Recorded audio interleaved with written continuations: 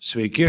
Aš pirmiausia norėčiau pakviesti diskusijos dalyvius ateiti į sceną ir prisijungti.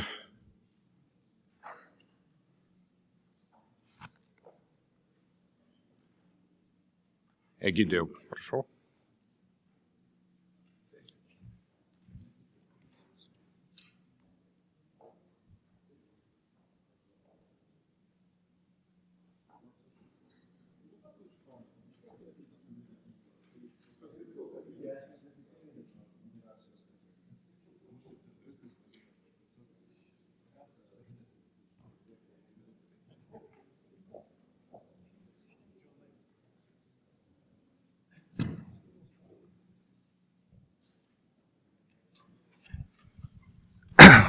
Tai dar kartą sveiki visi.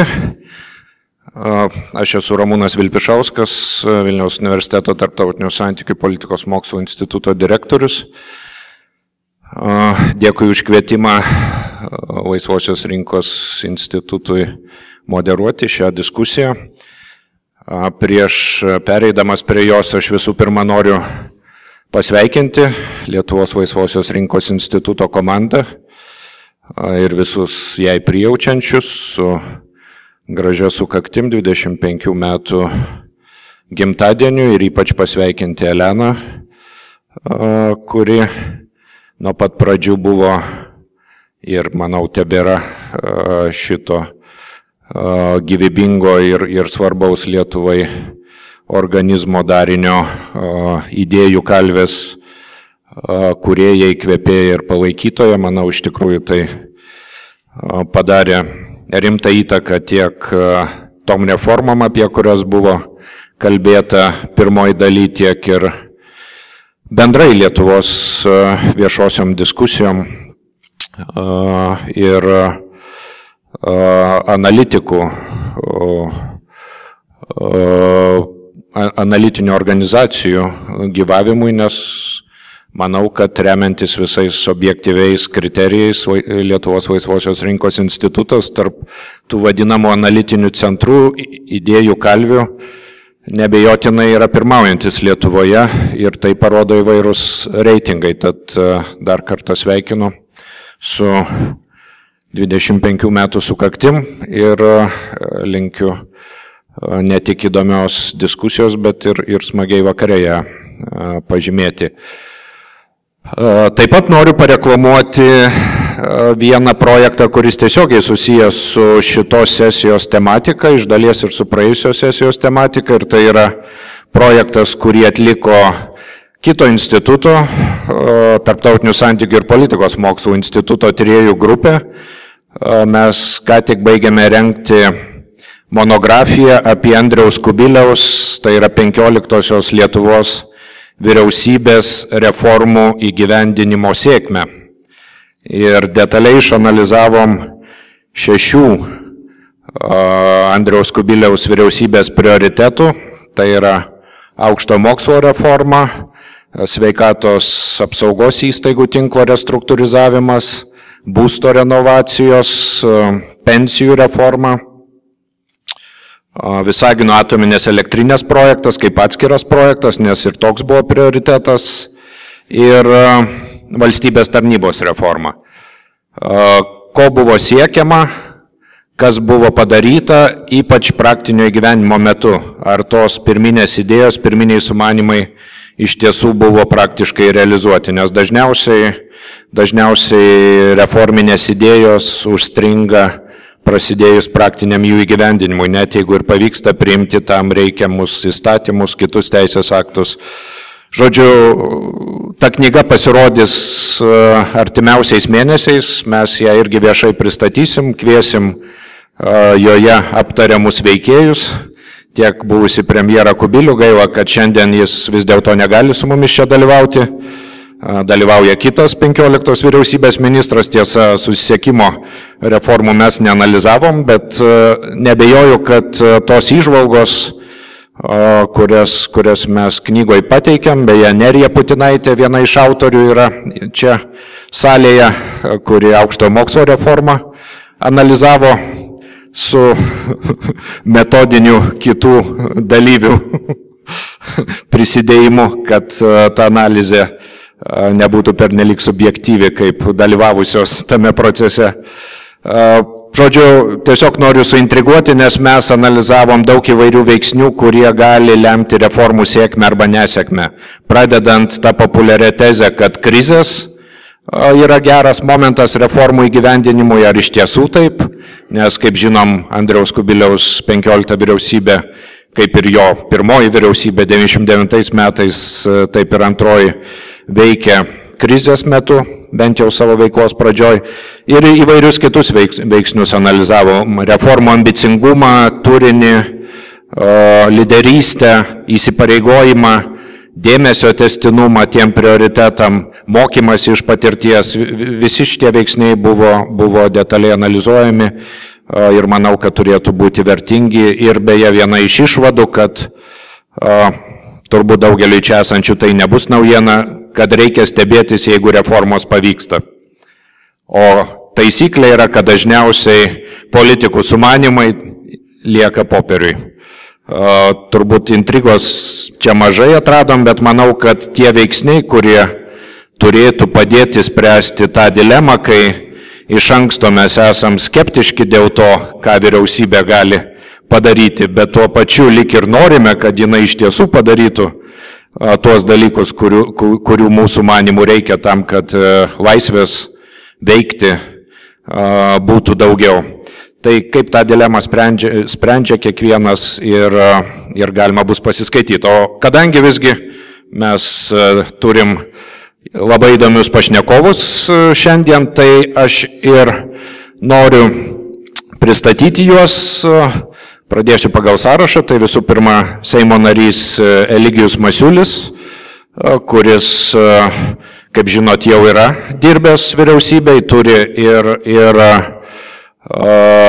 ministro darbo patirties ir veikiausiai galvoja intensyviai apie tai, ką reiks veikti po kitų metų Seimo rinkimų ir kokioj ampluo galės pasireikšti, tai manau, galima bus irgi sužinoti apie tai, kas jo nuomonė būtų svarbiausi tie darbai, kuriuos reikėtų daryti. Taip pat e, ponas Robertas Dargis, Lietuvos pramoninkų konfederacijos prezidentas, iš e, verslo pusės, manau, pateiks savo išvalgas apie tai, ko mums reikia artimiausiais metais e, organizatoriai prašo galvoti net apie 25 metus į ateitį.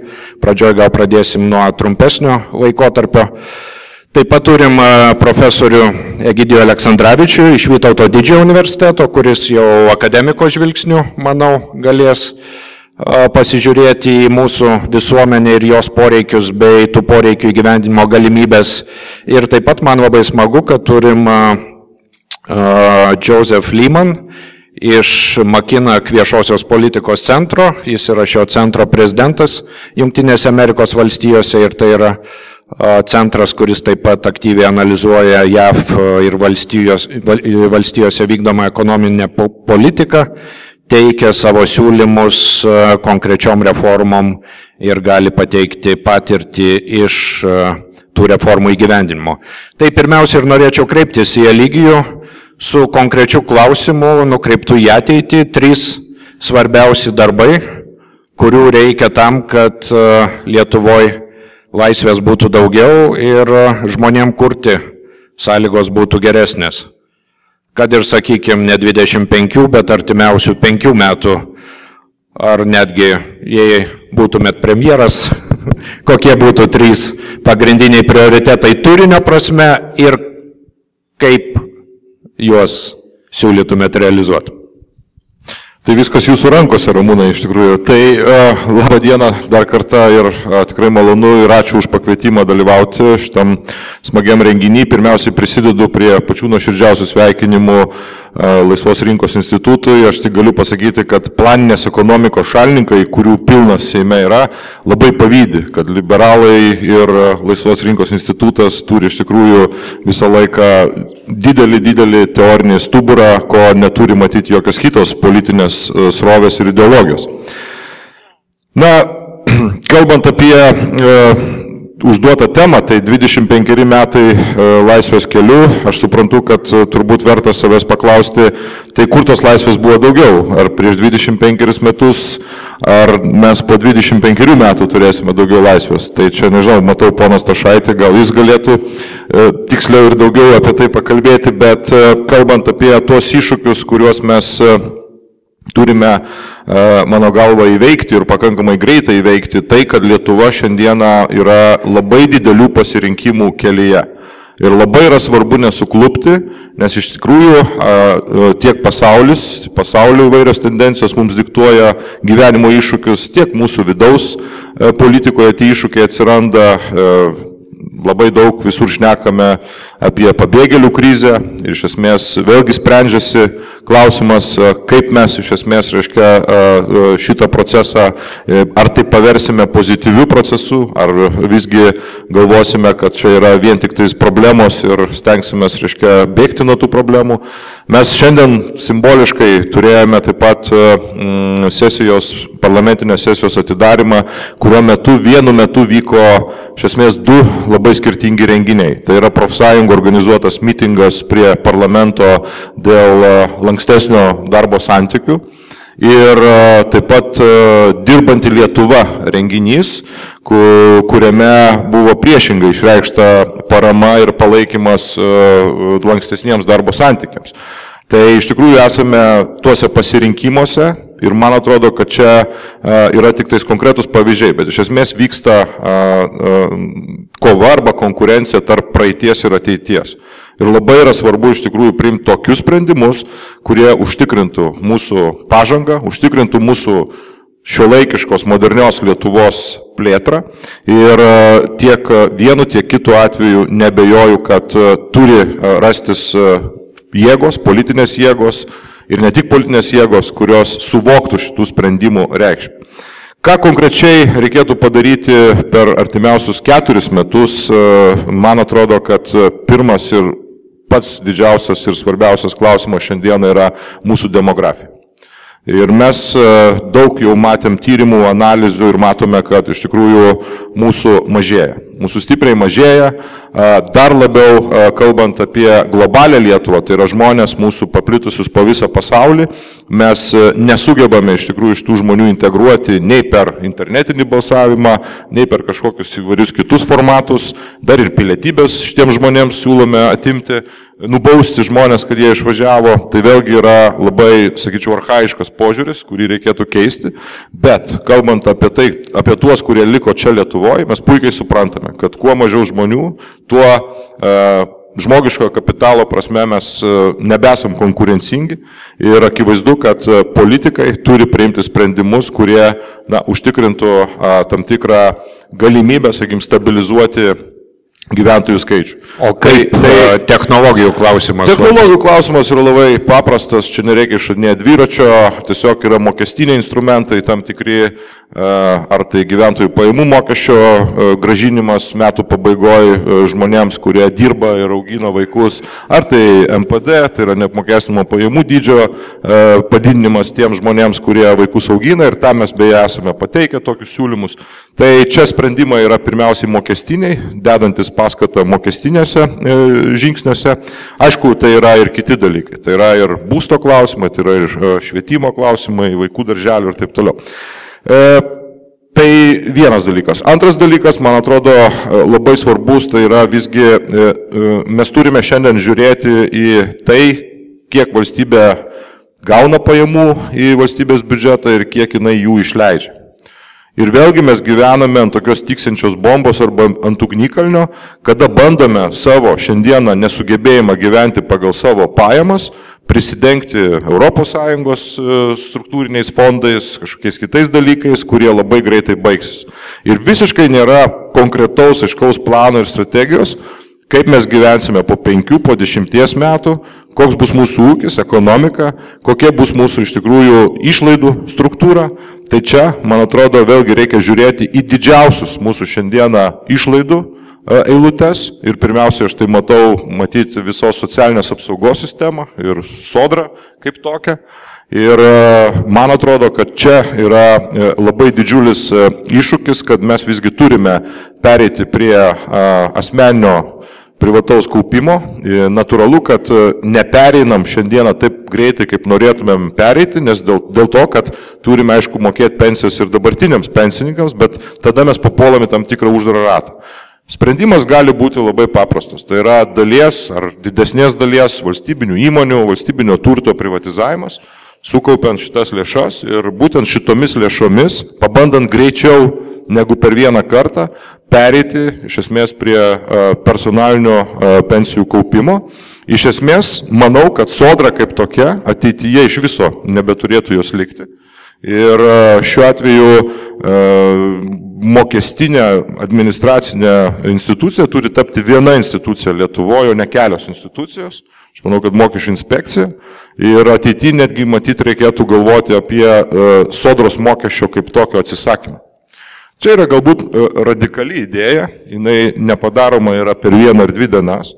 Tačiau jeigu mes... Per 25 metus. Per 25 metus mes esam tikrai pajėgus atsisakyti sodros sistemos ir socialinio draudimo mokesčio kaip tokio.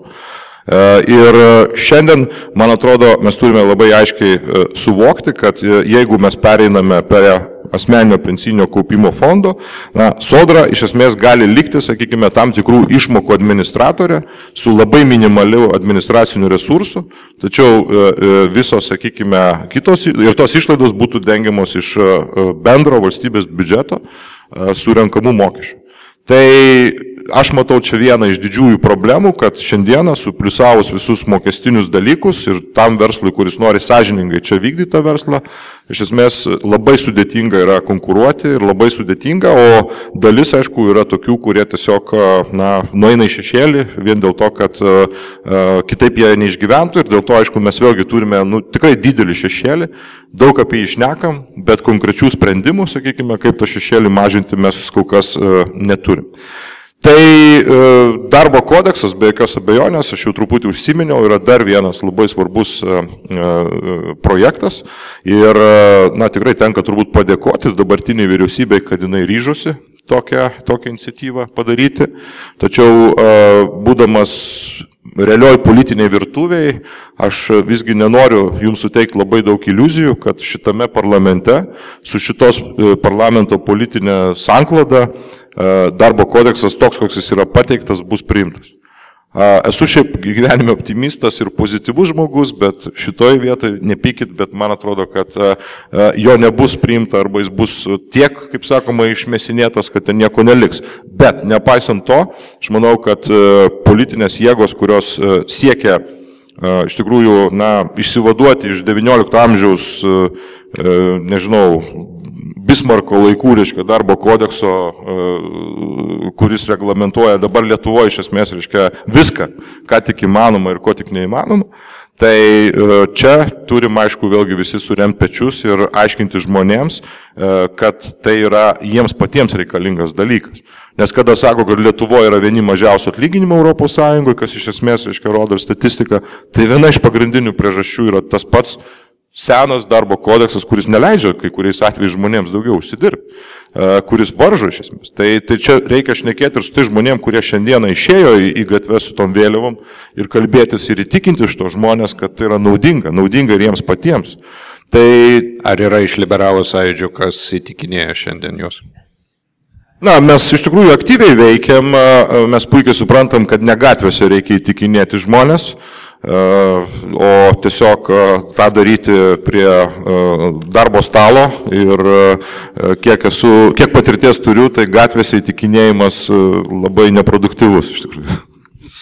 Ačiū lygiai. Robertai, kaip visa tai skamba žiūrint iš verslo pozicijų? Ar, ar tai yra tie svarbiausi darbai, kuriuos minėjo lygijus ir ar yra politinio potencialo juos įgyvendinti? Aš taip klausausi nuo pradžios, kai tu pradėjai pasakoti Ramūną apie tai, kad įvertinot aną vyriausybę, kuri lik ir geras idėjas, bet e, kuo baigė žinom, bet jinai tapo visiškai nepopuliari. Šita vyriausybė neturi tokių didelių ambicijų, bet jinai yra daug populiaresnė. Tai reiškia, aš taip prezumuoju, kad jeigu labai daug neusibrėži, tai tampi populiaresnis ir daugiau šansų turi būti vėl iš naujo perinktas.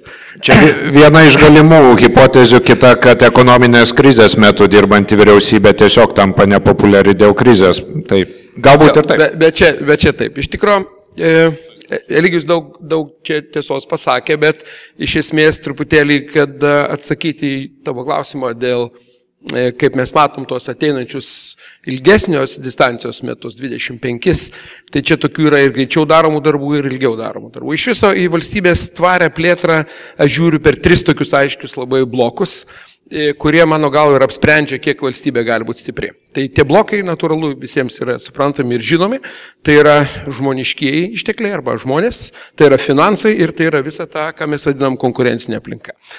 Kiekvieną iš jų galima analizuoti, kur esam ir iš tikrųjų apspręsti, ką reikia nuveikti, kad mes būtume kažkur, tarkim, už užsibrieštų tau, savo laiko kažkokių tai distancijų, 20 metų ar 25. Tai apie žmogiškuosius dalykus mes jau pakankamai neblogai pasisakė lygius ir papasakojo. Tikrai mes esam sparčiausiai nykstanti ES valstybė. Tai yra faktas. E, nepriklausomai nuo to, kad mes emigraciją turim apie minus 25 per metus tūkstančius, minus 10 tūkstančių turim tik tai gimimų mirimų skaičių, minusą irgi. Ir kol kas mums nesiseka stabilizuoti šitų dalykų.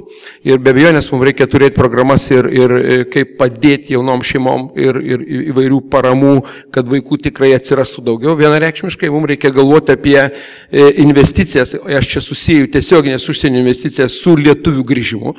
Dėl to, kad lietuviai įgyja patirties užsienyje, jie galėtų būti panaudojami e, žymiai plačiau ateinančiom investicijoms. Aš turiu omeny ir gamybinės be abejonės, ir paslaugų segmentus, kurie labiau save pritaikytų ir čia atsirastų galimybė užsidirbti daugiau ir nebūtų to didelio skirtumo jiems grįžusi čia. Ir be abejonės apie tai, kas yra šiandien aktuali e, migracija, kokia mūsų valstybės politika, kaip mes norim papildyti savo resursą žmogiškai, kiek mes ko turėtume priimti, apie tai dabar labai daug šnekam, bet aišku yra viena, kad mes visiškai nesiuošiam tam dalykui. Nors mes pirmieji pradėjom kalbėti dar 2006 metais, kad mūsų globalizacijos procesai tikrai mus palies ir bus aišku, kad šiandien vis tiek mes gyvensim visiškai kitokioje erdvėje, negu mes įsivaizdavom gyvena 19 amžiuje be abejonės. Taip kad čia reikia labai daug dirbti ir aš įsivaizduoju, kad čia yra didžiausias iššūkis Lietuvai, šnekant apie žmogiškosius dalykus. Apie finansus irgi buvo jau kalbėta. Priklausomybė nuo Europos pinigų yra akivaizdi. Jeigu šiandien ją paversti pinigais, e, mes apie, sakykime, 14-13 analizuojant, apie pusantro milijardo mes skolinamės į metus Lietuvo, aš turiu menį, kad subalansuot biudžetą, tai ES pinigų implikacija į mūsų biudžetą labai aiški yra, apie 3 milijardus litais dar šnekant. Tai įsivaizduokim, nėra europinių pinigų, reiškia skolinamės tam, kad šiandien gyventume taip, kaip norim, minus 4,5 milijardo kas met. Aišku, kad tai netvaru, aišku, kad reikės sprendimų, pabandykim dar įsivertinti savo ir įsipareigojimus gynybai, kuriuos mes jau dabar kalbam apie 2 procentus BVP, kas bus virš 2 milijardų gerokai, aš dar vis operuoju litais. Aš kalbu apie įsipareigojimus ES, kuriuos mums reikės irgi mokėti, kaip normaliai šaliai, sakykim taip. Tai vėlgi labai e, didelis klausimas, kaip mes subalansuosim biudžetą. Po to, kada konvergencijos susitarimų pasirašytas laikotarpis baigsis ir sėklės, sakykime, tas upelis europinių pinigų, kuris ateina. Čia irgi yra iššūkis, sakykime, ir mano galva reik, labai reikėtų ekstrapoliuoti ateitį, kas čia bus. Ir aišku, didysis blokas, apie ką reikėtų šiandien šnekėti, konkurencinė visa aplinka mūsų.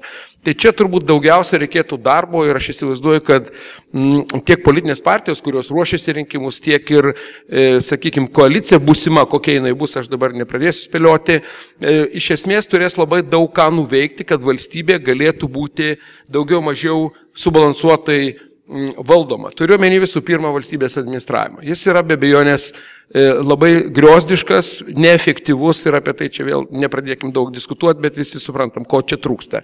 Sekantis dalykas - valstybės e, valdomo turto efektyvumas. Didelis senas klausimas, kurį beje Kubilius iškėlė, bet jūs atsimenat, kas ir sužlugdė. Reiškia, jų pačių frakcija sėmė ir, ir, ir numarino visą tą gerą idėją ir aš manau, kad ją reikės iš naujo atgaivinti. Vienas svarbiausių uždavinių konkurencinių, man atrodo, ir turbūt Lietuvos numeris vienas - švietimo sistema. Ir aš kalbu vis tik tai šį kartą ne apie universitetus ir ne apie tai, ką mes ir kiek išleidžiam iš universitetų ir kaip jie randa savo vietą darbo rinkoje, aš dabar kalbu apie mokyklas. Man atrodo, čia yra pamatinis klausimas Lietuvos ateičiai dėl paprastos priežasties, kad mes e, labai daug jau pradedam suvokti, kaip skaitminės technologijos ir robotai keičia suvokimą apie gamybą. Gamybos žmonių prasme mažėja, visi procesai, kuriuos įmanoma pakeisti skaitmeniniam technologijom ir robotais, jie bus pakeisti ir artimiausių metų. Ir vis cituoju man labai patinkantį E, Junktinio Amerikos valstijų karinio laivyno sekretorių Murėjai, kuris e, pranešimą jūs irgi skaitėte aiškiai, kad e, amerikiečių karinis jūrų laivynas atsisako naikintuvų pilotų, jų tiesiog nebereikės, viską keičia bepiločiai lėktuvai, kurie, reiškia, gali vykdyti misijas, vienu paspaudimu būti sunaikinti po to ir atprintinamas 3D spausdintuvų lėktuvneši naujas aparatas vykdo visiškai kitą misiją. Ir labai geri jo žodžiai yra, kad Šiandien panaudojimas išmaniųjų technologijų yra tik tai mūsų fantazijos ribos apsprendžiamas. Nes tie procesai visiškai pakeis suvokimą apie gamybą. Šiandien kalbam apie naujas platformas, kalbam apie išmanesias technologijos, kalbam apie robotus, kurie kalbasi tarp savęs. Ir apie Bismarko laikų darbo kodeksą. jo, jo, taip. Ir, ir būtent. Ir, ir reikia suprasti, kad e, žmonių reikės vis mažiau ir mažiau e, aptarnauti technologijom, bet reikės vis daugiau žmonių, kurie galės kūrybingai naudoti ir produktus, ir sugebėti juos parduoti. Ir dėl to mokykla šiandien yra būtent ta e, pamatinė terpė, kurioje mes turim formuoti kitą žmogų. Ir aš kai suskaičiuoju, atsisėdęs ramiai, e, kad pirmokėlį šiandien atėjęs į mokyklą, septynių metų, 2015 metai, taps kūrybingų žmogum, kuris kurs pridėtinę vertę, beje, mokės valstybei mokesčius, tai paskaičiuokim, 2035 metai, kada jis baigs mokyklą, universitetą, padirbės dar bent 3 metus, e, sakykime, kažkokioj tai įmonėje ir jau pradės būti efektyvus. Tai 2035 metai ir šio laikinė mokyklos sistema, kuri pradeda tą žmogų renkti gyvenimui 2050 netgi, jeigu taip jau kalbėti dar plačiau. Tai čia šiandien mes turėtume labiausiai susirūpinti. Mums reikia kalbėti apie mokytojų prestižą, mums reikia kalbėti apie jų atsakomybę, mums reikia kalbėti, kokį mes norim vaiką mokykloje ugdyti, kad jis būtų žymiai platesnio matymo, įjungtų daugiau savo kūrybinių galių, kuris galėtų panaudoti savo talentus tam gyvenimui, kada tarp robotų konkuruoti iš tikrųjų bus be galo sunku. Ir čia aš manau, kad yra vienas iš didžiausių mūsų uždavinių.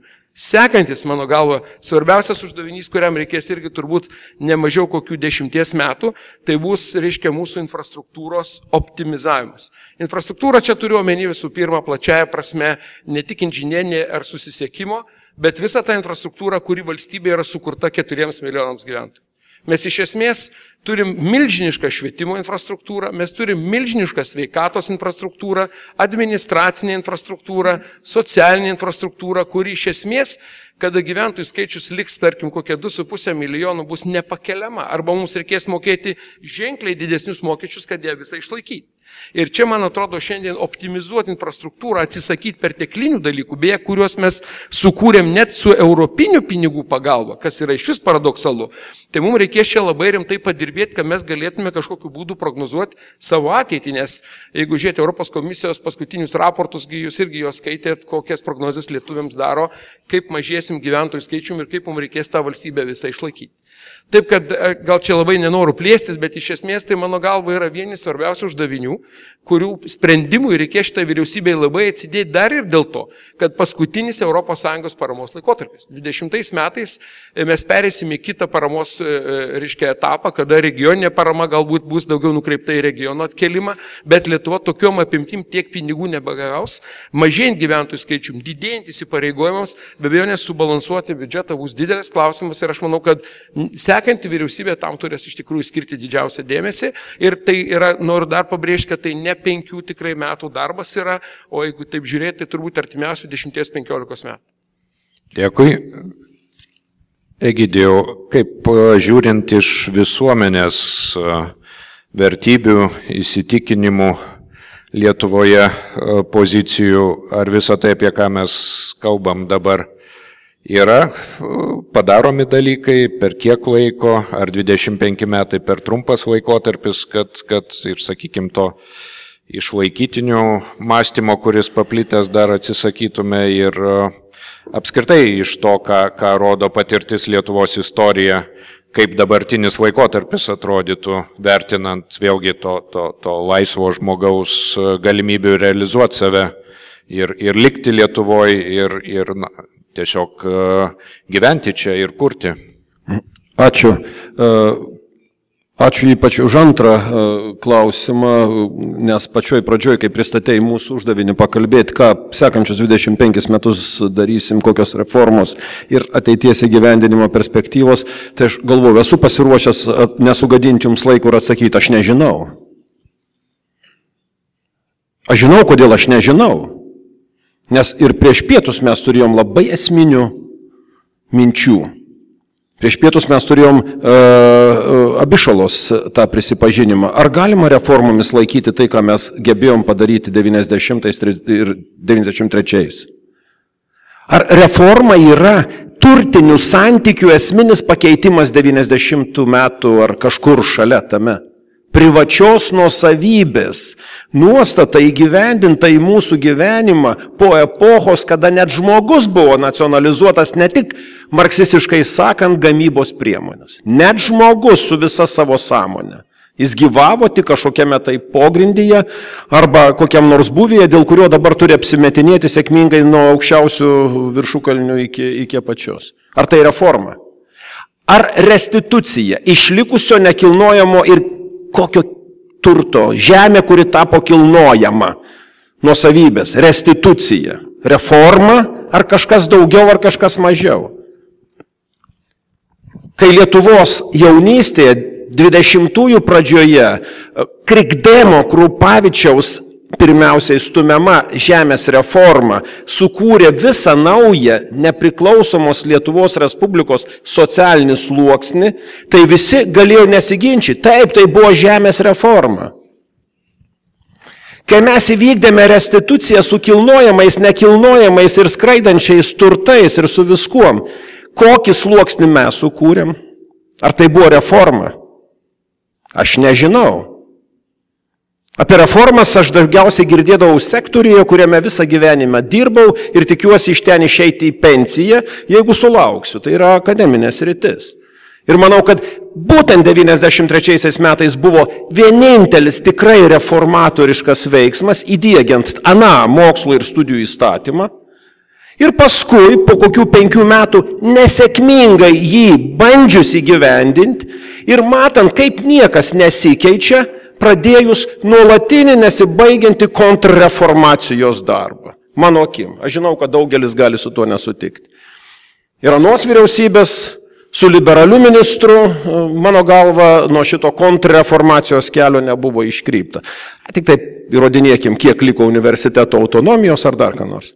Ir negana pasakyti argumento laisvės labui, kad universitetai po 93 metų nepasinaudojo reformą ir niekas nesikeitė. Tai vietoj to, kad galvoti triukus, ko trūksta, kad vyktų ta reforma, ne, paprasčiausiai lengviau ją uždusinti. Na, sakykime, vietoj keitimo galėjai tarti, sunaikinkit e, bent du principus, tik uždrauskit du principus. Panaikinkit dviejų pakopų doktoratus ir antrą, nebeleiskite dirbti tame universitete, kuriame doktoratas pasiekiamas. Viskas, nieko daugiau nedarykit. Čia labai liberalu. Nepabandėm. Per sudėtinga buvo. Žodžiu, aš žinau, kodėl aš nežinau, aš negaliu atsakyti, bet pradžiagi buvo taip, kaip parašyta programai. Programai parašyta bent maniškai angliškai. 25 years on the road to freedom, ar ne? Past reforms and future challenges. Kitaip sakant, aš kaip istorikas galiu įjungti savo atmintį ir bandyti sakyti, kad 25 metai praėjo su tam tikrom pamokom, o tik paskui tikėtis, ką iš jų mes išmokom ir ko reikėtų ateičiai. Tai tam aš pasiruošiau, aš beveik niekada nepasirašau jokiose diskusijose, šitam aš pasiruošiau. Tai dabar yra galimybė tai pristatyti. Aš tiesiog ir pasiruošiau bandydamas personifikuoti Laisvosios rinkos ekonomikos e, institutą, ar palauk, ne ekonomikos, Laisvosios rinkos institutą ir Lietuvos laisvę galima sudėti krūvą. 25 metai abiem.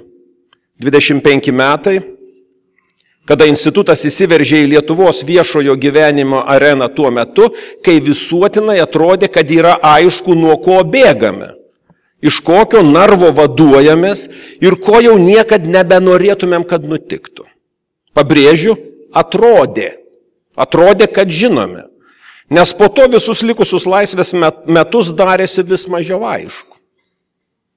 Kartu ir pakeliui su institutu buvo ir daugiau anuomet viešų fantazuotojų, viešų aktorių, panašiai suvokusių lietuvių tautos permainų misiją į laisvę. Atviros Lietuvos fondas buvo vienas iš tokių, o jo paveldas tai dar vienas neiškumų mazgas. Viešą erdvę patikrinkit, Tai bent su laisvosios rinkos libertastais, ko gero, demonų mažiau prikurta negu su sorosologais, sorososais, visokiais kitokiais. Kokia kolektyvinė neapykanta palaikoma visoje viešojoje erdvėje. O tai buvo pati viltingiausia, gražiausia mūsų revoliucijos arba Zenonas Norkus tikriausiai kitą žodį panaudotų, bet vis tiek viltinga institucija. Bent jau apniukusioje viešojoje erdvėje ir dar labiau apniukusioje politinio biurokratinio elito sąmonėje, tai šitas vaizdas tikrai išlikęs. Ir trys, trys mintis iš esmės ir vienas palinkėjimas. Nes aš taip personifikuoju Lietuvos laisvės ir šito instituto egzistencijos žingsnius. Pagal tai, kaip sekėsi institutui, mano galva galima šiek tiek definuoti, kaip sekėsi mūsų bendraja, mūsų laisvė. Tada 90-aisiais pranašauta, ir čia ne vienas kalbėtojas prieš pietinėje sesijoje, prieš kavinėje sesijoje tą tvirtino, labai paprasti trys dalykai. Demokratija, liberali demokratija gali institucionalizuotis per metus ar du. Laisvi rinkimai ir amen. Mes beveik viską galime įgyvendinti, visą kitą savaime atsineš. Laisvai rinkai atplėšti duris prireiks kiek daugiau nu, penkių metų kokių. Tada jinai pradės veikti, bus atsisakyta biurokratinių galių ir žmonės patys žinos, kaip padaryti geriau. Ir buvo trečia, čia Ralf Darendorf, e, pirmiausiai, jo jau buvo tokia korektiška pranašystė arba prognozė, e, netverstose knygose tai yra paskaitoma. Trečiasis tai buvo mentaliniai pokyčiai, kurie užtruks tiek ilgai, kad mes negalime net žinoti kiek.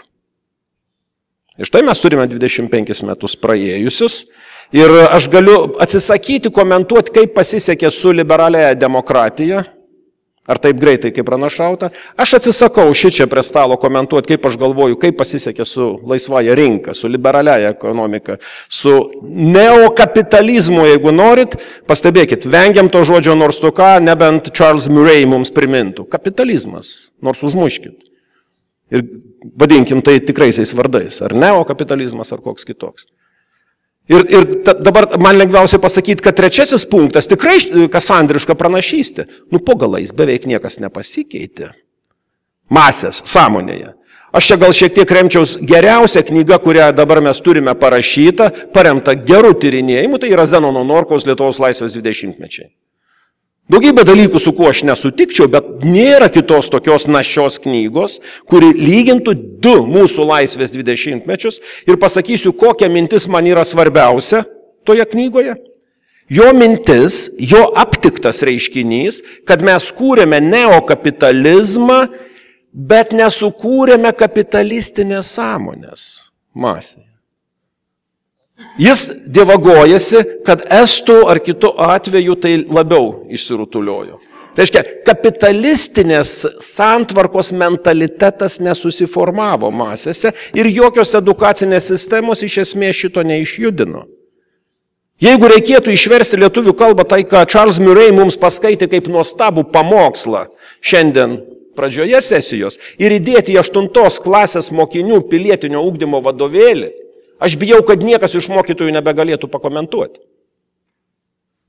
Tai reikia mokytojus pakeisti. Ne, nu, aš tik sakau, va tas vaizdinys, mentalitetas liko nepasikeitęs, aš sutinku su Zenono Norkaus teze. Ir kodėl aš tada sakau, nežinau, kaip reformuoti, nes mat, mentalitetui įstaigų nesukursi. Jokia nacionalbiurokratų partija nesukurs įstaigos mentalitetui reguliuoti ir negali reformuoti tiesiai.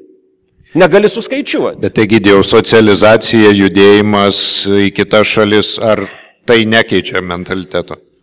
Kai netenkam žmonių, bala žino. Dalis grįžta. Nu, grįžta, Dieve daug, tie, kurie pasimokė dar ką nors, bet gerai, aš, aš tiesiog, kaip sakiau, aš nežinau beveik nieko. Užsirašiau, užsirašiau um, antras punktas, antrą tezę, skaičiuok mano minutės, nes aš susijaudinęs nebeskaičiuoju. Laisvosios rinkos institutas, ko gero, buvo populiariausia vieša įstaiga per visą tą laiką, kadangi iš esmės visas margaspalvis elitas žiūrėjo į tą pačią pusę. Tiesa, kartais taip žvairai, kad dešinysis sparnas atrodė labiau linksta į etatistinį socializmą, o socialdemokratai į libertarizmą. Kitaip sakant, man čia negaliu aš to spektro visai atskirti, akise raipsta. Tačiau institutas padėjo laisvosios rinkos retoriką uždengti senovišką kapitalizmo žodyną ir bent kiek palengvinti privačios nuosavybės principų gristos santvarkos restituciją Lietuvoje. Šiaip kapitalizmo žodžio nebesugražinom, nes unikaliai po komunistiniai kraštai turėjo ateiti arba grįžti į laisvosios rinkos arba neokapitalistinius santykius po ilgo laiko komunizmo. Net pietų šalis šito išvengė. Ten komunizmas nepridirbo tiek keibių, nes niekad nevaldė. Dėl to raudona vėliava jiems joks, joks bjaurus skuduras, kaip mums kad gali atrodyti. Bet kokia mūsų sąmonė, kaip po viso to mums ugdyti kapitalistinį mentalitetą, kaip atrasti tą žmogų.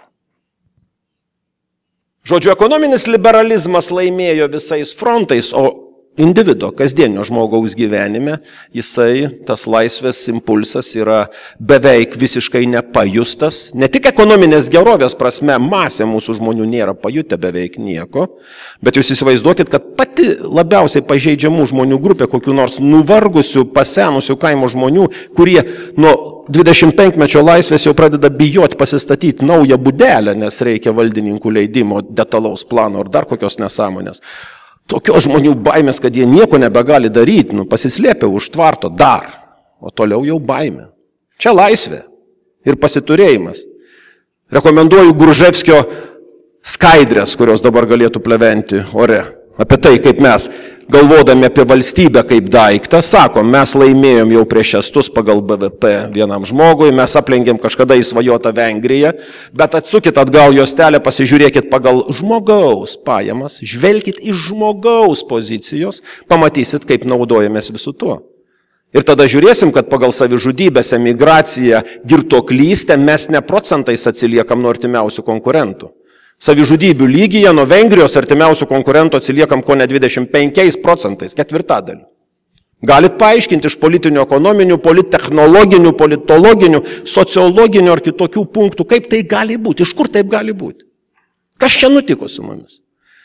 Kitaip sakant, kaip suprantate, aš jau šneku apie stebuklus ir debesis, bet ne apie skaičius. Ir trečiasis punktas, kurį aš sakiau, būtinai reikia atkreipti dėmesį, nes tai eina pakeliui valdžios struktūros ir privatus sektorius. PP. PP, private, public. Bet kur yra civic? Kur yra individual? Šitoj vietoj mes esame kažkokioj keistoj būsenoje ir aš nežinau atsakymo vėl. Lais, trečias tas punktas, kurį buvau pasiruošęs. Laisvos verslo asmenybės formavimasis vyko kartu su spontanišku ir neretai dirbtiniu sėkmės mitologizavimu. Laimėjusių maršas uždengia visą kitą, o pralaimėję, silpnieji, paprasti mirtingieji, lygoti, beviltiški buvo išvyti nuo scenos. Žengėme ūkinės gerovės link plačiai žingsniais, o štai vidutinis pasitenkinimas lietuvių gyvenimu beveik nepaaugo. Vėl keliais procentais sūktelėjo BVP ir vėl dviem procentais padidėjo migracijos masas. Nu jūs paaiškinkit, ką tas reiškia. Makroekonominis ir makrobiurokratinis paveikslas suspindo aukso rėmose. Pralenkėme stus, latvius, lenkus, vengrus. O kaip su paprasto žmogaus pinigais ir atskirtimi? Guoskimės, kad esam turtingesni bent už rumūnus ir bulgarus. O kaip girtoklystės, savižudybės ir emigracijos čempionate, bijau, kad blogiau negu vakarykštės rungtynės su estais. Krepšinio rungtynės. Taip nebūna. Žodžiu, moralinė erozija yra kaina, kurią mes dabar mokame. Ir va čia jau reikia tikėti arba pasaulio banko ir kitomis prognozėmis, arba stebuklais. Ginčiuose su Robertu aš dažniausiai pasirenku antrąją poziciją. Aš tikiu stebuklais. Aš tikiu stebuklais, aš tikiu moraliniu praregėjimu, ką išreikščiau tokiu sakiniu. Mes veržėmės nuo Markso ir Lenino link Friedmano. 25 metus ir labai sparčiai. Ateičiai aš labai norėčiau tikėti, kad mes nuo Friedmano veršimės link Abrahamo Maslovo. 25 metų užteko John Rockefeller arba Andrew Carnegie nuo savo didžiojo biznio pereiti prie bažnyčių, bibliotekų, universiteto statybos. Prie milžiniškos konkurencijos, kad ras daugiau. Andrew Carnegie Amerikoje pastatė 3000 bibliotekų, į kurias nueiti ir dabar dar yra saldu. Ne valstybė. Kitaip sakant, didysis uždavinys kitam 25-mečiui yra ieškojimas geros įtampos, balanso. Ar mes galim tikėti, kad šiandien įmanoma patobulinti valstybės institucijų efektyvumą, perskirstyti didesnį BVP kiekį ir kaip nors kurti empatijos šalį? Nu, reikia truputį mylėti žmonės, kad mylėtume į Lietuvą, ar ne? Reikia mylėti lietuvius, kad mylėtume į pabėgėlius. Nes sistema žmonių apskritai nemyli, tokia beveik rusiška, beveik zvegint savo e, frazę būtų, nu žmonės čia nereikalingi iš esmės. Įsivaizduokit, kiek galėtumėm gamtosaugininkų įdarbinti, nes vis daugiau gamtos. Kikiliai veisėsi miestuose, reikia saugoti kikilius, nu, žinot. Bet mažiau bus saugumiečių, nes žmonių mažiau. Ir robotinis darbas, technologijos pasiklausant, pakvepuojant į veidą ar dar ką nors. Gerai skamba, ar ne? Orvelas, jeigu norit, Kiosleris, jeigu norit, ir visa tai yra aktualu vis dar. Mano palinkėjimas ir Lietuvai, ir pirmiausia institutui, nes institutui kaip Lietuvai. Čia yra laisvės viltis. Pirmiausiai palinkėti labai gerų konkurentų. Labai gerų kalbėtojų nuo empatijos, socialinio solidarumo. Aš linkėčiau jums gerų socialdemokratų. Aš linkėčiau gero instituto, kuris gebėtų šitą ginčą palaikyti, nes niekas nežino visos tiesos. Ginčas, konkurencija mintys ir kur tik tai norit. Buvau vieną, vieną tik tai palinkėjimą užsirašęs. Dabar sakau, norėčiau palinkėti per 25 sekančius metus apsispręsti, kas rašys naujus Gedimino laiškus. Atsimenat tokius? Ir dabartinių pabėgėlių akivaizdoje ir kitų. Ir trečias, kol mes nepradėsim mylėti žmonių, kol savotiškai nebus skenuojami visi teisės aktai, išeinant iš labiausiai pažeidžiamo žmogaus laikysenų ir būsenų, tol mes nieko negalim susigražinti kraštą, mes net sustabdyti pabėgimo negalim. Nes mes sukūrėme, mūsų biurokratinis arogancijos perteklius sukuria jausmą, kad daugeliu net ir pakankamai turtingų žmonių, jau aš nekalbu apie tuos, kurie šiandien laikraščiuose išvažiuoja į Londoną, bet daugeliu vidutiniškai gabių žmonių, toks užknisimas, kad tu jautiesi nužemintas ir geriau dingti iš čia, nes ten bus irgi nužemintas, bet mažiau skauda. Kitaip sakant, ar mes galim kaip nors stabdyti, ar mes galim pradėti mylėti žmonės. Aš suprantu, kad institucijos žmonių negali mylėti. Institucijos neturi širdies, dėl to moraliai yra individuo. Tai žodžio alternatyva 25 metam. Ar mūsų valstybės institucijos, politinis, biurokratinis elitas gali pasidaryti jautresnis, empatiškesnis, efektyvesnis, mažiau korumpuotas, mažiau sužvėrėjęs kaip kokių postkolonialų besiveržiančių į vieną viršukalnę burys? Ar yra kita pusė? Maslovo piramidės antrą, trečią pakopą peržengusių mūsų kapitalo, didžiūnų atsivertimas link vėlyvojo Andrew Carnegie Katras kelias yra įmanomas? Palieku neaiškumą, nes aš nežinau. Ačiū, Gidijai, mes apie tai paklausim kito mūsų diskusijos dalyvio iš, iš tiesų. Ta filantropija, kuri jau taip įsitvirtinusi Junktinėse Amerikos valstijose, to naudą patiria ir universitetai, tai pats puikiai žinau manau, labai smarkiai susijusi apskritai su tuo, kaip žmonės gali kaupti savo kapitalą. Lietuvoje visų pirma, to kapitalo mažai prikaupta yra per 25 metus tam, kad jis galėtų būti naudojamas, jo reikia pirmiausia turėti, o kad panaudotų filantropiniais tikslais vėlgi turi būti tam tikros galimybės, prasmė to darimo. Tai aš visų pirma pradėčiau tada Joseph uh, klausimą, kaip jūs vertinat JAV patirtį, ką rekomenduotumėt tokiai šaliai, tokiai visuomeniai kaip Lietuvos, kad tas kapitalas būtų kaupiamas, kad jis nebūtų išvežamas į Olandiją, į kitas šalis, kad jis būtų čia panaudojamas ir po to dar norėčiau susėdama su tuo, kas anksčiau buvo kalbėta, vėlgi jūsų patirties pagrindų, jūsų analizės pagrindų paklausti, pavyzdžiui, kaip jūs matote, kaip sėkmingai reformuoti tokias rytį kaip darbo santykiai. Tai visgi yra šiuo metu, kaip jau galėjot suprasti, Lietuvoje aktualija veikiausiai dar bus aktualija, tai jūsų patirtis ir vertinimai irgi būtų, manau, visiems čia esantiem labai įdomus. Prašom. Thank you very much. And I've never been translated into Lithuanian before, so I'm tempted to leave my headphones on, but I'll take them off so I'm not confused. and I trust that our translators will only transmit translate the uh, uh, remarks of mine that, uh, that make sense, but I see most of you understand English anyway. Uh, the role of philanthropy in the United States uh, ties in beautifully with what capitalism makes possible. You can't explain philanthropy uh, as originating in any sort of profit and loss statement.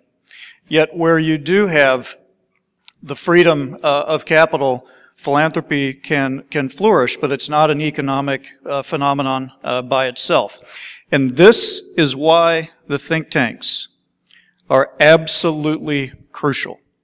And I'm the president of a, of a think tank. I have no expertise on uh, policy in, in Europe, uh, let, let alone Eastern Europe. Very little familiarity with uh, the specific issues in Lithuania. But I do know from our lessons in, in the United States, and my think tank uh, focuses a great deal on labor policy because our think tank is based in the same state as the home of the American labor movement, where the American labor movement was born in the home of the United Auto Workers. And so I was actually excited when I found that we may be protested today by a labor union because that would mean that the Lithuanian Free Market Institute is having impact and, and uh, could raise a lot of money on that demonstration uh, uh of impact. What think tanks are uniquely qualified to do and, and this applies to think tanks anywhere. And so it's a good checklist for the next 25 years, not just in Lithuania, but anywhere. They're uniquely qualified to take the long view. Politics by necessity is constrained to short time horizons because of election cycles and, and, uh, and moments of policy ripeness come and go. Policies uh, can get ripe like the banana we heard about earlier and, and later it can be rotten and not time, not time to act. Or it can be green and not worth, not worth eating. When my institute, the Mackinac Center, began pushing for major labor reforms 25 years ago in the stronghold of organized labor, even our friends told us, would you please stop talking about labor reform? You're embarrassing us. But we knew that it, we were uniquely positioned to say things that elected officials could not yet say, and we knew it was our job to make the issue ripe. And so Three years ago, uh, our ideas of two decades actually became law, and a great deal of compulsion was removed from labor relations in our state through the passage of what uh, we call a right to work law. It essentially meant that no worker could be fired for refusing to support a union. The second task of think tanks on your checklist of three things is to stay rooted in the ideas of freedom. Because think tank analysts have expertise in policy and economics, there will be a temptation to get involved in the technocratic minutia of government. And, and it's appropriate to provide some of that assistance. But that's not where the credibility and the power of think tanks come from. If we want to create a society where philanthropic, philanthropic capital can come alongside business capital, and we can embrace the four institutions that Dr. Murray talked about as the source of lasting satisfaction, we have to have a fully developed theory of how the world works and not just a tiny economic theory. Our credibility flows from our ability to root our policy ideas in what makes sense in the head and what speaks to the heart and what people know is right and wrong. And economists alone cannot, cannot do that, and elected officials are often hard pressed to do those things. And lastly, there is a contemporary issue that I think needs to move on to our checklist. I, I, and, and I'm not sure about this in Lithuania, but I see it in the United States. Our very possibility of existing, to be able to debate ideas freely, without fear of reprisal, requires freedom of speech. Uh, this is a concept that is codified into the Constitution of, of the United States. And the Mackinac Center, my institute, did not get started to fight for freedom of speech. We took it for granted. We took it as a given. And what we observe now, over the last uh, decade and decade and a half, is much less tolerance, not necessarily from the state, but from society at large, much less tolerance for disagreeable ideas. Or, to use a phrase that I saw at the, at the Museum of Lithuanian Genocide yesterday, less tolerance for the otherwise minded. And we I believe that it must now become the task of the think tanks to fight to defend a, a space uh, for debate and for freedom of conscience, because otherwise the conditions for our existence will become inhospitable. And it would be like trying to uh, plant wheat on the moon. It is inhospitable conditions would not allow that to thrive there. So our oxygen, our water, our nutrients are the free flow of ideas and the ability to speak freely about them. And I just want to say that it is such a privilege to be able to congratulate the Institute on a quarter century. And I, and I am deeply moved as, as an American to come here and know that I am among people who fought a brave fight against extremely powerful superpower aggressors. And that I can take the story, uh, I can take the story home to my own children and my own community, my own colleagues, about how, how I had a chance to spend a few days uh, with people who have lived through the things that uh, uh, that we uh, only know secondhand in the United States. So my congratulations and my admiration. Thanks a lot. I hope you will enjoy those few days here. Uh, kągi, valanda praėjo labai greitai, kai pašnekovai neieško žodžio kišeniai. Tai net ir neliko laiko klausimam iš auditorijos, apie ką aš galvojau, bet kadangi norim laikytis grafiko ir visi dar nebejoju susidomėję Elenos pranešimu, padėkokim visi kartu šios sesijos kalbėtojams. Ačiū už idėjas. Tikiuosi visi kažką pasiemė savo iš to, ką girdėjot, o jei nesutinkat, tai kviečiu ginčytis vėliau vakare su pranešėjais. Ir ačiū visiems uždėmesi šiam kartui. Toliau jau Žilvinas turbūt pareguliuos tolesnį veiksmą. Ačiū labai.